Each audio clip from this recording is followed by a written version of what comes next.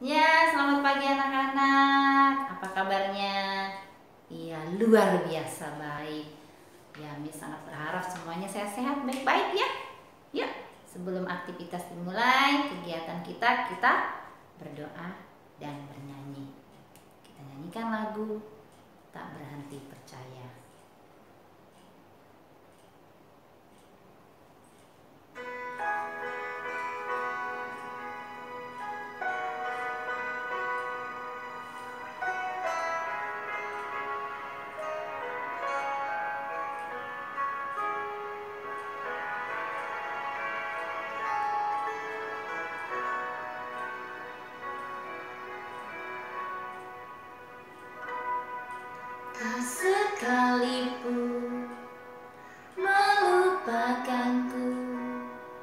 Kau menuntun langkahku.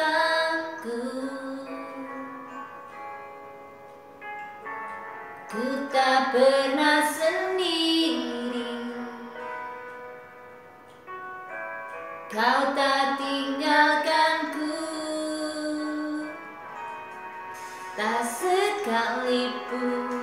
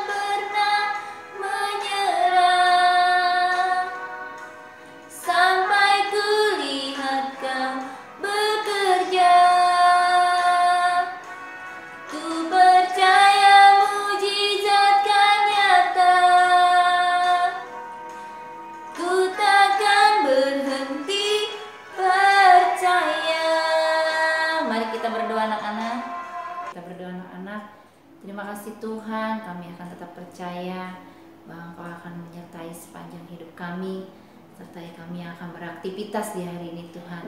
Terima kasih Bapak berikan semangat yang baru kepada anak berikan mereka roh kepintaran, roh kerajinan Tuhan sehingga mereka terus belajar dengan sungguh-sungguh.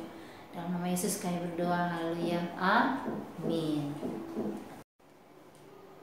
Iya, kita mau membahas dulu ya di pembelajaran hari ini kita membahas tema tentang binatang di air. Apa saja binatang di air?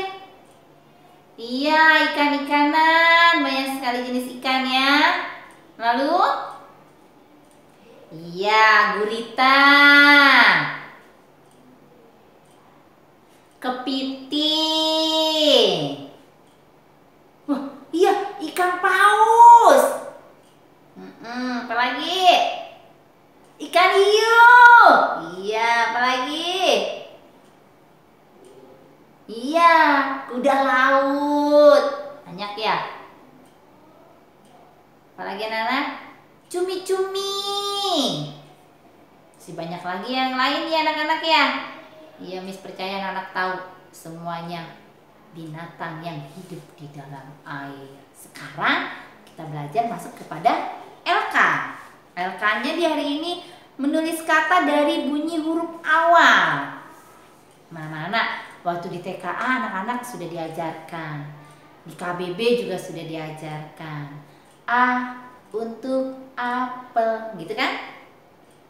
B untuk bola. Nah, pasti Miss Lydia, Miss Indah sudah ajarkan anak-anak. Di sini nomor satu ada bunyi huruf apa awalnya tuh? Huruf? Iya, huruf B. Sebentar ya, Miss rapikan dulu biar terlihat jelas oleh kalian.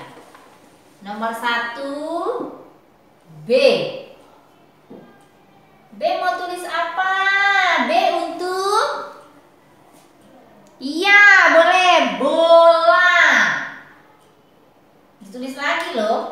enggak bo lah jangan langsung nge o l a ola nggak boleh satu titik b sama dengan bola. Ya. Terus yang kedua ada bunyi huruf c.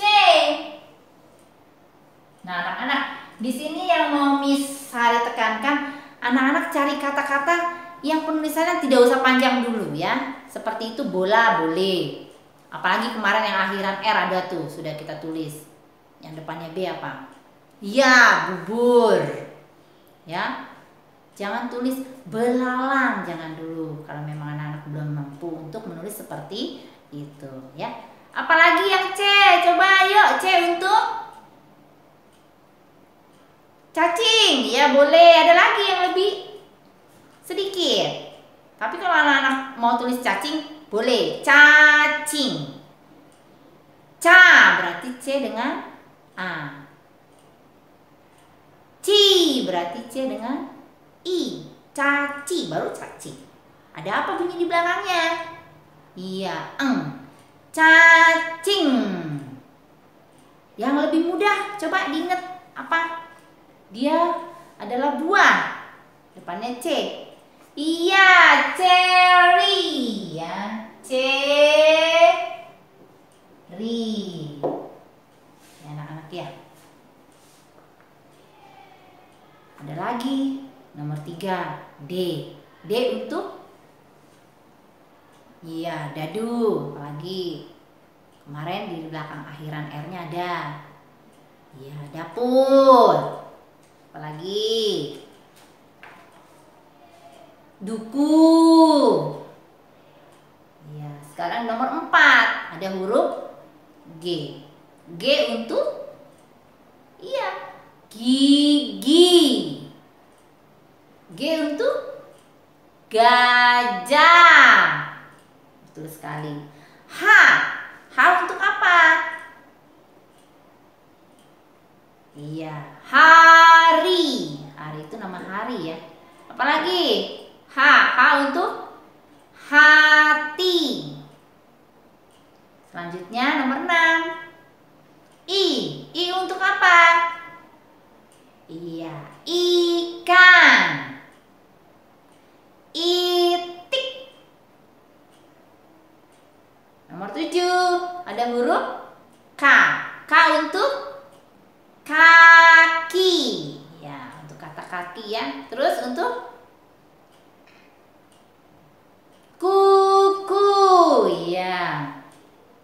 Nomor 8 M. M untuk apa? Iya. Mata. Apalagi? M untuk mulut. Ada et, ada T. Nanti kita akan belajar akhiran T ya. Kemarin kita baru sampai H dan menyalin kata akhiran R.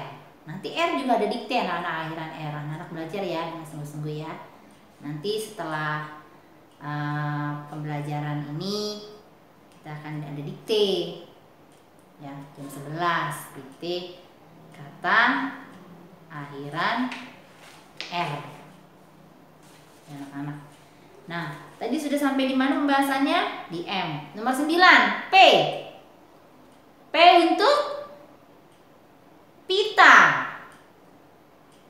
10 T T untuk Iya, T untuk topi.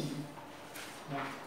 Ini anak-anak nanti kita akan dikte kata berakhiran R. Pelajari di rumah. Ya. LK di hari Senin yang lalu di tanggal 21 ya. Ada kata-kata yang berakhiran R. Yang anak-anak sudah salin 10 itu dipelajari. Oke? Nanti di jam 11 kita akan bertemu anak-anak. Kita akan dikte. Sampai jumpa. Belajar dengan sungguh-sungguh. Tuhan memberkati.